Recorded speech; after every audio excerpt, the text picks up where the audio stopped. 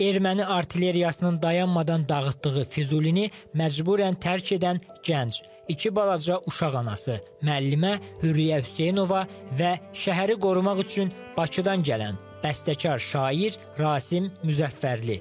Hər iki hekayə 1993-cü ildə reportyor Vahid Naxışın kamerasına həkk olunub. Hadisələrin əks olunduğu Qaytarılan Torpaq sənədli filmi dekabrın 1-də tamaşaçılara təqdim edilib.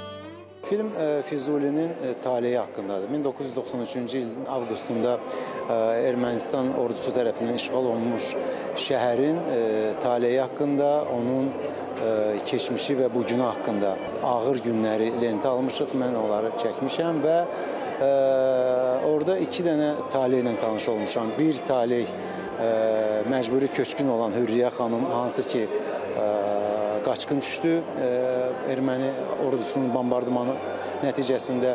Digər şəxsiyyət isə bizim Rasim Müzəffərli tanınmış bəstəkar şairimiz, hansı ki, əli silahla getmişdi öz vətənini, Füzulini azad etməyə.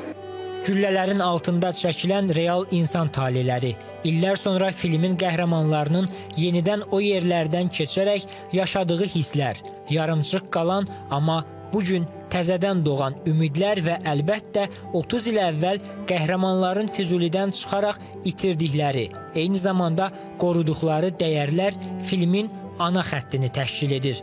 Azərbaycanın tanınan mədəniyyət, elm və ictimai xadimləri, habelə Füzuli ictimaiyyəti üçün təqdim edilən Qaytarılan Torpaq filmi tamaşaçılar tərəfindən böyük maraqla qarşılandı.